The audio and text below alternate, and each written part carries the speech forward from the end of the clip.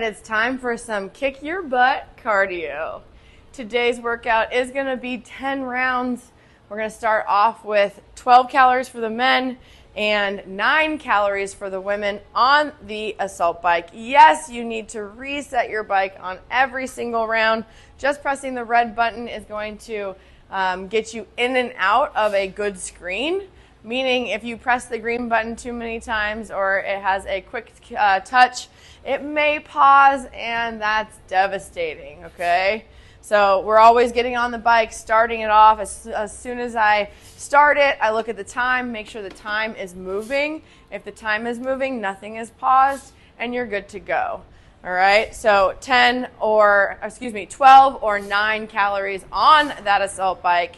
And then we're to get off, and we have 10 burpees, okay? 10 burpees. We are going to try to move these fast, all right? So make sure that we get all the way down, touching our chest, and then we're coming all the way back up, jumping and clapping so that we're in a nice straight line for those burpees. It's a quick 10, so we're just going to be off to the side, moving fairly quickly through those 10, and then we're jumping back onto the bike where we're going to go ahead and complete our next round. Again, we're trying to move through this as quickly as we can, consuming that um, energy is going to be something that you are going to expect, but we're going to try to hold on to it so that we can kind of keep the intensity high.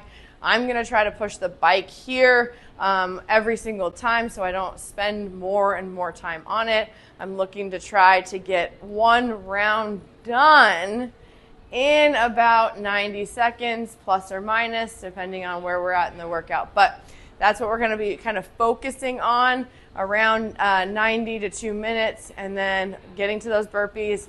I'm going to just chip away. Remember, you never can fail a burpee. You can always get up and back down. How you do it and how eloquently you do it is going to be up to you. So, really focus on that as we move um, from the bike to the burpee Stay confidently strong in your head. You can do this. Hard things happen in this controlled uh, environment so that we can handle hard things out in the real world um, better. Okay, so that's what we're going to be doing today. It's going to be a lot of fun. Calories on the assault bike and burpees.